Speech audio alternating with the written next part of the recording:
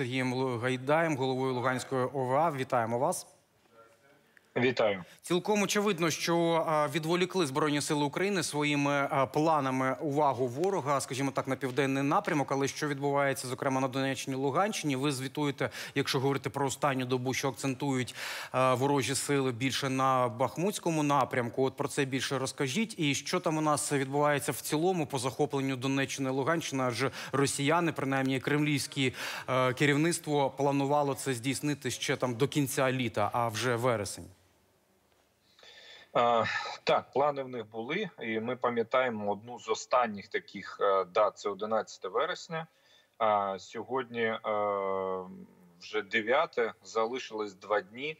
Е, Але залишилось два дні для того, щоб можливо ще наші збройні е, сили України звільнили деякі населені пункти, а не для того, щоб е, була захоплена територія Донецької області. Звісно, що ці плани ніяк не зможуть реалізувати рашисти. Е, І ми зараз бачимо, що от якраз на Луганщині е, підтягують резерви е, з боку Сватового російська армія, тому що вони розуміють, що такий величезний прорив, який зробили в Харківській області наші військові, то ну напевно ніхто з рашистів не очікував. Е, Більше того, ну мотивація зовсім різна в українського воїна і в е, окупантів. Тому вони там біжуть е, дуже потужно, намагаються стримати наступ. Ну але побачимо, що буде найближчими днями. Пане Сергію, скажіть, будь ласка, якщо ми говоримо зокрема і про Харківщину, е, рашисти тікають, але людей і мешканців окремих сел вони використовують як живий щит. А от Куп'янський і Ізюмський райони Харківщини вони взагалі кілька днів до того вивозили жінок і дітей. Більше того, казали, дітей заберемо всиновимо в Росії, якщо ви, матері, не захочете з ними їхати. На Луганщині яка була ситуація? Звідки скільки там дітей і жінок отак маніпулятивно було вкрадено? Ви підрахунки ці вели? Ми на жаль не можемо е, конкретно підрахувати все, тому що е, територія окупована, тому інформації 100% немає. Але е, знаємо ситуацію, і є у нас такі факти, коли дітей ну більше ста дітей вивезли в Росію а з тих, які були позбавлені десь батьки опікунських прав, батьківських прав. Тому е, факти такі є, і були в нас факти в Рубіжному, коли бої е, тривали бої, якраз потужні саме е, в Рубіжному.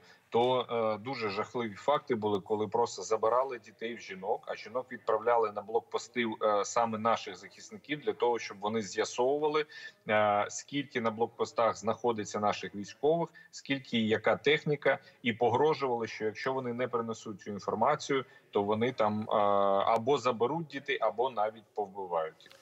Пане Сергію, ну ще одне питання щодо гуманітарної складової. Адже пам'ятаєте, влітку ми говорили про те, що там і тіла не прибирали, і була санепідеміологічна ситуація надскладною. Нині похолодало, але з'явилася інша проблема. Наприклад, ви говорите про те, що не прибирають сміття і змушують місцевих власне опікуватися цими комунальними питаннями. Так само триває мобілізація місцевого населення, але там є інша проблема. Знову ж таки, наприклад, з полону мобіків так званих росіяни не забирають.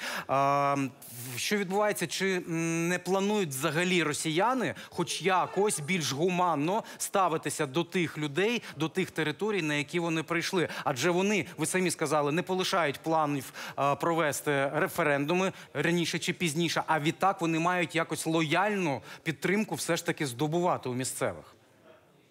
Ні, нема, нема ніякої лояльності. Справа в тому, що ми ж розуміємо, що ці всі референдуми вони фейкові, вони намалюють собі будь-які цифри, які там скаже Кремль. Тому е, відповідно і е, лояльність місцевого населення їм не потрібна. Люди, на жаль, залякані дуже сильно. Е, вони бачать.